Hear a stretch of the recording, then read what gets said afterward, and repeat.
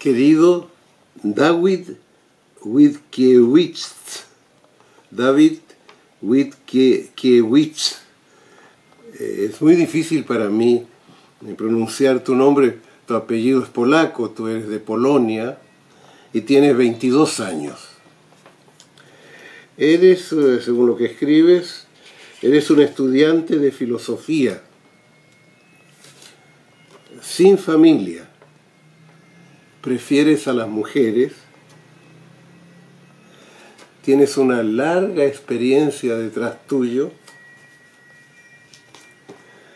crees, buscas la verdad, el amor, la belleza y cómo ayudar a los otros a encontrar la paz en sus vidas. Encontrar la paz en sus vidas. ¿Cómo ayudar a encontrar la paz en la vida? Bueno, está muy bonito todo lo que dices. Me cuentas una historia muy, triste. Encontré mi bien amada completa, es decir, un ser completo. Lo encontré, el gran amor. Mm. Fue un gran amor, nos decíamos, y yo le decía, eh, tendríamos, si algo nos separara, tendríamos que encontrar el medio de volver a encontrarnos. No es posible separarse. Y ella, que no me dices el nombre, murió hace dos años. Y tú, tú me haces esta pregunta. ¿Cómo encontrar algo eh, para cumplir mi, mi promesa de encontrarte ahora que te has ido? ¿No? Bueno, es difícil que yo te pueda responder. Quizás el tarot te podrá responder.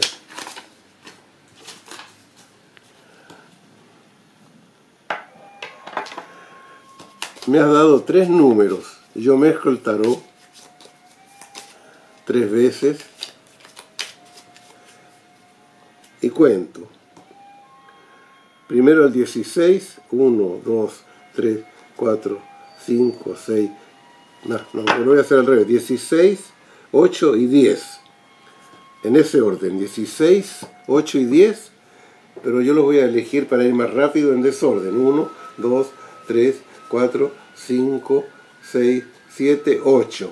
Esto es la mitad. Después, 9, 10. Al último. 11, 12, 13, 14, 15 y 16. El primero. Esto es lo que sacas tú eh, según las leyes del azar. Eh,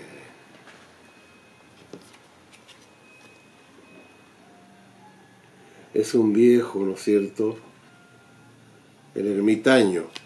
Claro, es normal que salga el ermitaño que es solitario, con su lámpara de sabiduría, pues es el joven filósofo, pero aquí es el viejo filósofo pero tú a los 22 años dices que tienes un largo camino detrás tuyo y que has dejado a tu familia.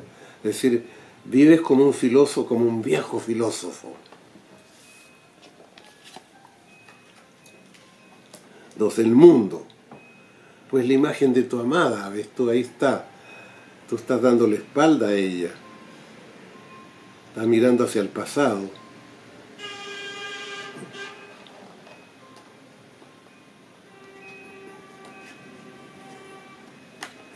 y la muerte, el arcano 13. Mira cómo el tarot habla, ¿te fijas tú? Ahí estás tú, tu amada y la muerte que los separa. Ahora, yo te voy a poner las cartas de, lo que hiciste real. ¿Qué, ¿Cuál es la carta 16 del tarot? La carta 16 del tarot es la casa Dios es la destrucción de una ilusión. ¿Ves tú? El 8.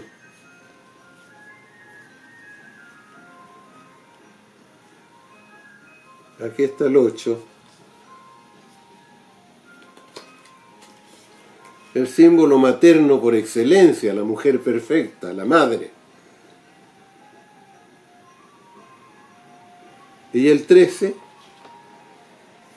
que tú sacaste, el 16, el 8, tú sacaste el 10. Mira como yo me equivoqué, qué maravilla. Ah, pero salió el 16 en el lugar del 10, salió el 13. Pero tú aquí tú tienes el 10. Aquí está el 10. Mira, en ambas partes, aquí, aquí está el arcano 13, mirando hacia un vacío, cómo encontrarla, y aquí está la rueda de la fortuna, con animales, eh, la emoción, el intelecto, eh, el sexo, todo eso está los giros de la vida que, tiene que ir hacia adelante está como detenida y hay una manivela y necesita que algo la mueva. Es lo que tú estás preguntando, ¿qué me puede sacar de esta soledad en la que estoy yo? ¿Cómo cumplir la promesa de juntarme con, con mi amada muerta? La única solución sería que yo me suicidara. ¿Ves tú? Y eso no lo quieres, tienes 22 años y tú me dices, eh, me gustan las mujeres. No, cuando, cuando empiezas a escribir tu carta, las mujeres plural, es decir, tú tienes una necesidad de, esa compañía, ¿ves tú? Entonces yo no te puedo aconsejar eso. Yo, yo, quiero, yo quiero saber mm, qué te dice el tarot. Entonces este es el tarot que está mezclado, no está mezclado. Este es un tarot voy a sacar esta carta por azar. Y aquí el tarot, el, tarot, el tarot mezclado, voy a sacar dos cartas de, esta mezcla que donde elegí tus cartas. La carta de arriba y la carta de abajo. entonces, hagamos un resumen porque este tarot es corto, porque es muy, muy preciso lo que tú dices. Tú eres un joven intelectual, filósofo, que funciona mucho por el pensamiento y quiere ideales, la verdad, eh, la belleza, ves tú, eh, lo, lo, esas tres cosas, la verdad, la belleza, mm, eh, el, amor. Bueno, el amor lo tuviste, pero está, está en ultratumba. La verdad en la filosofía. Y, la, y la, belleza es, este la belleza en el fondo es, es el ser esencial, la belleza que todo ser humano tiene en el fondo, fondo de su alma, ¿no es cierto? Eh, todavía a los 22 años no te has encontrado esa belleza, la estás viendo en tu amada, pero en el fondo tu amada eh, es tu alma. Bueno, entonces, ¿cuál sería la solución aquí? Aquí esta solución es el emperador esto. El emperador, es decir, aquí el, ermitaño se transformaría en el, emperador, un ser, un ser maduro. Ya no este viejo que abandonó todo, no esta imagen que tú tienes de ti como de un viejo, tú eres un ser sin familia, sino que es, un, es que encuentres tu madurez. Es decir, que te digas, este fue un periodo de mi vida, se acabó ese periodo, se vivió lo que se vivió y ahora tengo que seguir viviendo. Tengo que seguir viviendo. Por eso está preguntando. Si, si fuera el suicidio, hace dos años se murió, ya te hubiera suicidado. ¿Ves tú? Entonces, si has sobrevivido dos años, se enseña que quieres vivir, pero necesitas el permiso para poder hacer esto. A ti te parece una traición. Pero fíjate tú bien que tú dices que eres sin familia. Si eres sin familia, dejaste a tu familia, dejaste a tu madre también, a tu padre y a tu madre. Los, de, dejaste si vives sin familia.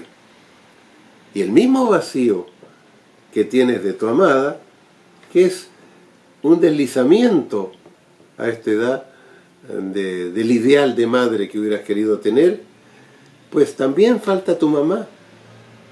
Tienes el vacío, el vacío de la madre, ¿entiendes tú? Entonces, vas a encontrar una mujer adulta, el emperador tiene que encontrar la emperatriz, esa la vas a encontrar ahora y tienes que, tienes que decidirte a aceptar. Mira, yo creo, y esto es lo que yo creo, ¿no? Los muertos no sufren. Es decir, yo creo que, que la vida es crecer, vivir es crecer, la vejez no es ir hacia abajo, es ir cada vez más hacia la abertura, hacia la abertura hasta convertirte en universo, ¿ves tú? E, eso es la vida, entonces la muerte es solo un cambio hacia algo más general todavía. Entonces, una persona desaparecida no tiene posesión sobre ti. Lo único que quieres es ser desaparecido, es que te liberes de ella o de él, que te liberes para que tú vivas tu vida, para no porque te ama, pero el amor es sin posesión. Y por otro lado, para ella ir hacia otras dimensiones, porque mientras, tú no la sueltes en tu mente, ahí estará, sin, sin seguir creciendo hasta disolverse en la totalidad del universo. Entonces, te has quedado en la muerte. ¿Qué hay después de la muerte? ¿Qué dice el azar? Mira lo que sale. Estás buscando, en el fondo ella, es lo que yo dije, ella y tu madre es, es, la misma, es el mismo deseo. ¿No es cierto? Andas buscando una mamá, porque tú dices, ella era una mujer completa. Una mujer completa es la madre. Porque una mujer es la mitad tuya. Somos hombre y mujer, dos partes incompletas. El hombre y la mujer se encuentran porque son incompletos y entre los dos hacen el ser ideal, el andrógino alquímico, entre los dos. Aquí tú andas buscando una madre, y que sale aquí, el tarot lo afirma. Aquí estás tú, entre tu amada desaparecida y tu mamá. Aquí estás entre estas dos imágenes. Mira, como acto de psicomagia, te pido que vayas a ver a tu madre. Dices que vives solo, sin familia. Haz un esfuerzo y ve a verla. Y vence tu sombra, que es la rabia, la insatisfacción, la desesperación porque ese amor no se cumplió, insatisfacción que inconscientemente te tiene que haber dado, llamémosla, tu novia que se murió. Es un shock para ti. Y tú estás diciendo, ¿cómo cumplo mi promesa? Te ha puesto en un problema fuerte. Y hay un, no es solamente de amor, tienes que aceptar que que necesitas hacer una pequeña revolución interior para decir que ella, tu novia, te abandonó, que no debió morirse y te abandonó. Aunque haya sido una enfermedad grave o accidente, pero es el inconsciente que habla así. El inconsciente está protestando. ¿Y si tu madre está muerta? Es igual. Ve a su tumba vestido de niño entre 8 y 10 años, vestido de niño así. Ve ahí. Y frente a la tumba, al lado de la tumba, eh, donde tu madre está enterrada, ponte a llorar. Ponte a llorar. Primero, si no sientes el llanto, imita el llanto. Si tienes ganas de insultar, insulta, pero luego llora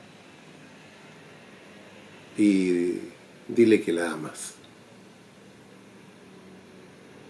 Si tu madre está viva, la misma cosa. Insúltala, llora, dile que la amas.